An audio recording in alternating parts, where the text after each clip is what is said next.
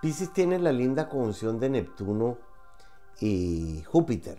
Antes de que Neptuno hubiera sido descubierto, Júpiter regía Pisces. Pues bien, están los dos regentes, el, antiguo y el moderno, en Pisces, y esas son las dos riquezas.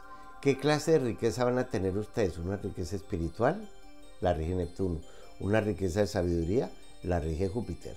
Esa sabiduría la pueden compartir principalmente con miembros de su familia o en los ambientes que para ustedes sean verdaderamente familiares.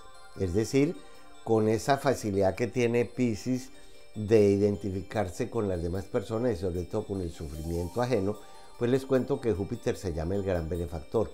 Se retrogradó porque estaba en Aries, entró a Pisces y va a estar en Pisces hasta el 20 de diciembre, o sea que aprovechen este momento para llegar a la tierra prometida o a la meta que ustedes se propongan.